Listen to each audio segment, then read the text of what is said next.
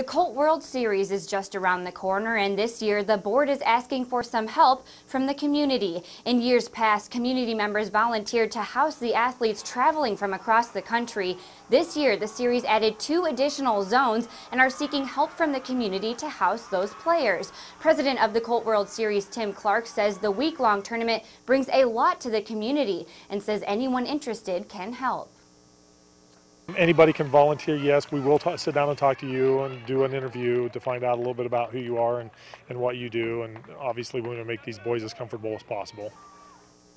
Clark says the baseball players will be coming to town on August 2nd, and volunteers should anticipate them leaving August 10th. If you are interested in volunteering to house some of the players, you can contact President Tim Clark or Housing Coordinator Sally Kerwick, or you can visit our website at WLFI.com for more information.